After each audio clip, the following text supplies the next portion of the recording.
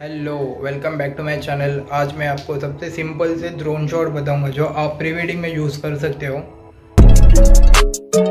Let's go.